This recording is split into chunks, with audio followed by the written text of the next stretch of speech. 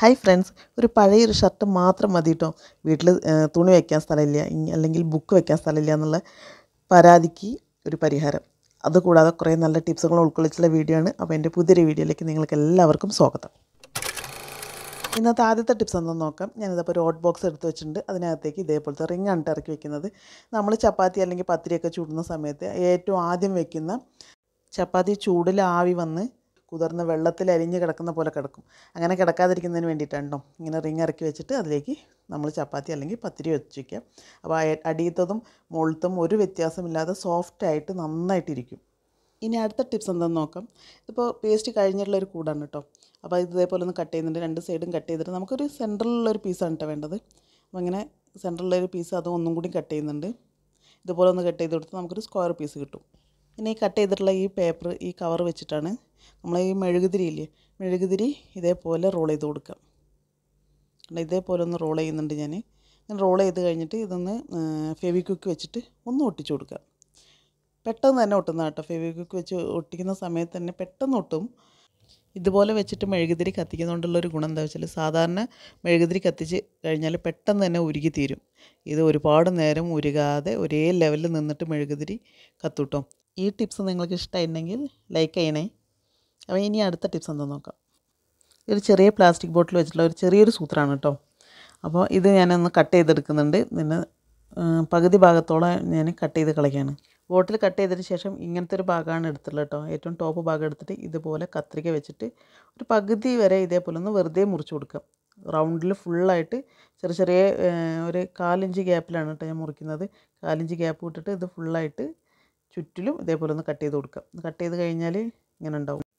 എന്നിട്ട് ഒരു പാത്രത്തിലേക്ക് ഞാൻ രണ്ട് മുട്ട പൊട്ടിച്ച് വെച്ചിട്ടുണ്ട് കേട്ടോ ഇതുപോലെ പതുക്കെ വെച്ച് കുത്തുന്ന സമയത്ത് തന്നെ പത്തേ സെക്കൻഡിൽ മുട്ടയും ഇത് മഞ്ഞയും വെള്ളയും മിക്സ് ആയി കിട്ടും. നല്ല സോഫ്റ്റ് ആയിട്ടുള്ള ഓംലേറ്റ് ഉണ്ടാക്കാനായിട്ടും പറ്റും കേട്ടോ ഇതൊന്ന് ട്രൈ ചെയ്ത് നോക്കണേ. മറക്കരുത്. എന്തായാലും ട്രൈ ചെയ്യണം കേട്ടോ ഇനി അടുത്ത എന്താണെന്ന് നോക്കാം. അപ്പോൾ ചിലർക്കെങ്കിലും തുണികൾ എത്ര തന്നെ ഒതുക്കി വെച്ചിട്ടും എത്രയും സ്പേസ് കിട്ടുന്നില്ല. അതേപോലെ തന്നെ പേപ്പർ വെക്കാൻ ബുക്സ് വെക്കാൻ സ്പേസ് ഇല്ല. അതേപോലെ തന്നെ മറ്റ് സാധനങ്ങൾ ഒതുക്കി വെക്കാനുള്ള സ്പേസ് ഇല്ല എന്നൊക്കെ പറയുന്നവർക്ക് വേണ്ടിയുള്ള ഒരു അടിപൊളി സൂത്രമാണ് കേട്ടോ.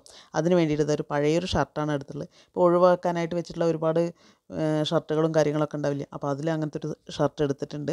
ഈ ഷർട്ട് വെച്ചിട്ടുണ്ട് നമ്മളൊരു അടിപൊളി സ്റ്റോറേജ് സ്പേസ് ഉണ്ടാക്കിയെടുക്കാനായിട്ട് പോകുന്നത്. ഒട്ടും ബുദ്ധിമുട്ടില്ല. നമുക്ക് സിമ്പിളായിട്ട് മെഷീൻ ഇല്ലാത്തവർക്ക് കൂടി ചെയ്യാൻ പറ്റുന്ന രീതിയിലുള്ള ഒരു അടിപൊളി സ്പേസ് ഉണ്ടാക്കിയെടുക്കാം കേട്ടോ. ഈ ഷർട്ടിന്റെ ബോഡി പാർട്ടിൽ നിന്ന് കുറച്ച് പുറത്തേക്ക് നിൽക്കുന്ന ഭാഗം കൈയിന്റെ ഭാഗമാണ്. അപ്പോൾ കൈയിന്റെ ബോഡി പാർട്ടിന് ചേർന്നിട്ട് ബാക്കിയുള്ള ഭാഗം ഷർട്ടിന്റെ കൈ കട്ട് ചെയ്ത് കളയാണ് ചെയ്യേണ്ടത് കേട്ടോ. അത് ഞാൻ എങ്ങനെയാണ് എത്രത്തോളം എടുക്കുന്നുണ്ടെന്ന് കാണിക്കുന്നതിന് വേണ്ടി ഒന്ന് മാർക്ക് ചെയ്ത് കാണിക്കുന്നുണ്ട് കേട്ടോ.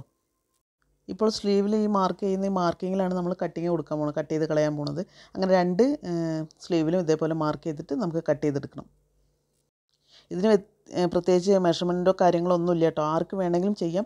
എത്ര സിമ്പിളായിട്ടാണ് നമുക്ക് ഒരു സൂചി നൂലുണ്ടെങ്കിൽ ഈസി ആയിട്ട് തുന്നിയെടുക്കാവുന്നതാണ് കേട്ടോ. അപ്പോൾ അതാ ഈ മാർക്ക് ചെയ്ത ഭാഗം ഞാൻ കട്ട് ചെയ്യണം.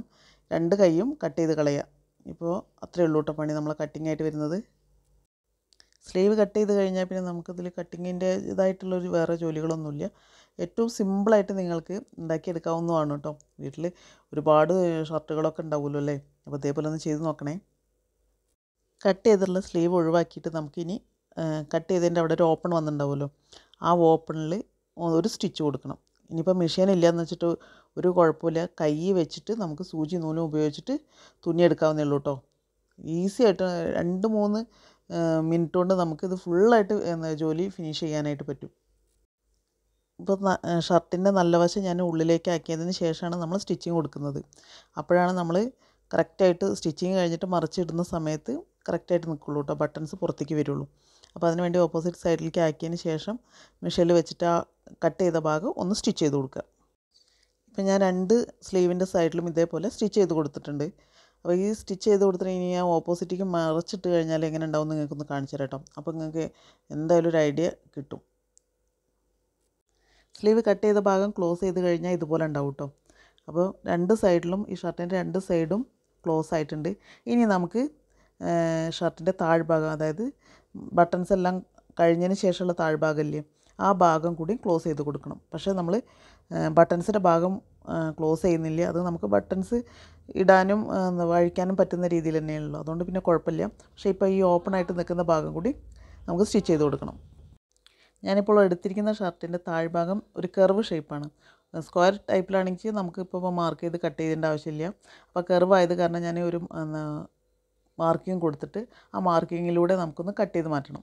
അത്രയും ഭാഗം നമുക്ക് ആവശ്യമില്ല. നമുക്ക് സ്റ്റിച്ചിങ്ങിനുള്ള തയ്യൽ തുമ്പ് മാത്രം ഇട്ടിട്ട് ബാക്കി ഭാഗം നമുക്ക് കട്ട് ചെയ്ത് കളയാം. നമുക്ക് സ്റ്റിച്ചിങ് സിമ്പിളാണ് കേട്ടോ ആകെ മൂന്നേ മൂന്ന് സ്റ്റിച്ചേ കൊടുക്കണ്ടു. സ്ലീവിന്റെ അവിടെ പിന്നെ താഴ്ഭാഗം. ഇതേപോലെ സ്റ്റിച്ച് ചെയ്തിട്ടുണ്ട് കേട്ടോ ഈ സ്റ്റിച്ച് ചെയ്തത് ഇപ്പോൾ ക്ലോസ് ആയി നമ്മളുടെ മേലത്തെ ഭാഗവും താഴ്ഭാഗവും തമ്മിൽ ക്ലോസ് ആയി കഴിഞ്ഞു. ഷർട്ടിന്റെ മേൽഭാഗവും താഴ്ഭാഗവും ക്ലോസ് ആയി കഴിഞ്ഞു. ഇനി എക്സ്ട്രാ നിൽക്കുന്ന ഭാഗം നമുക്ക് ഒന്ന് കട്ട് ചെയ്ത് മാറ്റണം. ഈ കട്ടിങ്ങും കൂടി കഴിഞ്ഞാണ്ടല്ലോ നമ്മുടെ അലമാരയ്ക്ക് പകരമായിട്ടുള്ള ഒരു സംഭവം അടിപൊളിയായിട്ട് സെറ്റായിട്ടോ അപ്പോൾ ഇത് കട്ട് ചെയ്ത് മാറ്റി കഴിഞ്ഞാൽ ഞാനിത് ഈ ബട്ടൺസൊക്കെ ഒന്ന് അഴിച്ചിട്ട് നിങ്ങൾക്ക് കാണിച്ചു തരാം. ഇതെങ്ങനെ ഉണ്ടാവും എന്നുള്ളത്. ഞാൻ ബട്ടൺസ് ഒന്നും അവിടെ നിന്ന് സ്റ്റിച്ച് ചെയ്തിട്ടില്ല ബട്ടൺസൊക്കെ നമുക്ക് ഫ്രീ ആയി വിട്ടിട്ടുണ്ട്. ഒന്നും തന്നെ സ്റ്റിച്ച് ചെയ്ത് പോയിട്ടില്ല കേട്ടോ.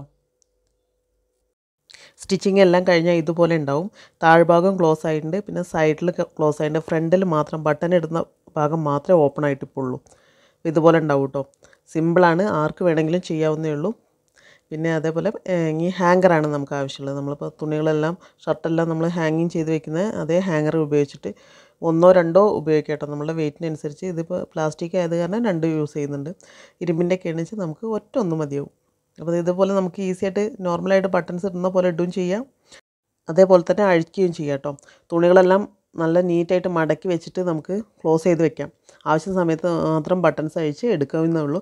ഇത് നമുക്ക് അലമാരയിലും സൈഡിലായിട്ട് ഇതേപോലെ വെക്കാനായിട്ട് പറ്റും കേട്ടോ അലമാരയ്ക്കകത്ത് വെക്കാം അല്ലെങ്കിൽ പുറത്ത് വെക്കണമെന്നുണ്ടെങ്കിൽ അങ്ങനെയും വെക്കാം.